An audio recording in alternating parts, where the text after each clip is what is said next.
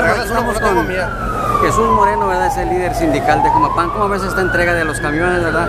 Que están al servicio pues, de tus eh, afiliados al sindicato, ¿verdad? Adelante. Sí, es, es algo que ocupamos, una necesidad de una herramienta de trabajo. Y qué bueno que ya el alcalde y la junta que nos están otorgando, hacía mucha falta. ¿no? Pues ahí están, ¿verdad? Lo que es para Comapán. ¿Y cómo ahorita el sindicato? Bien, estamos en pláticas, tenemos la revisión del Contrato, ¿verdad? contrato colectivo y el tabulador. Estamos en, el 16 de diciembre, tenemos la primera audiencia y vamos a ver, ahí echar la primera acercamiento con ellos, ¿no? Para ver en qué posición están. ¿Está en miras el aumento también salarial o...? Sí, la revisión salarial y el contrato colectivo. Hemos visto que se les ha dado despensas y uniformes, ¿verdad? Así Bajo es. tu mandato, ¿verdad? Sí, sí, sí, hemos eh, tenido ya el cumplimiento total del contrato, uniformes, becas, vacaciones, todos estamos saliendo bien.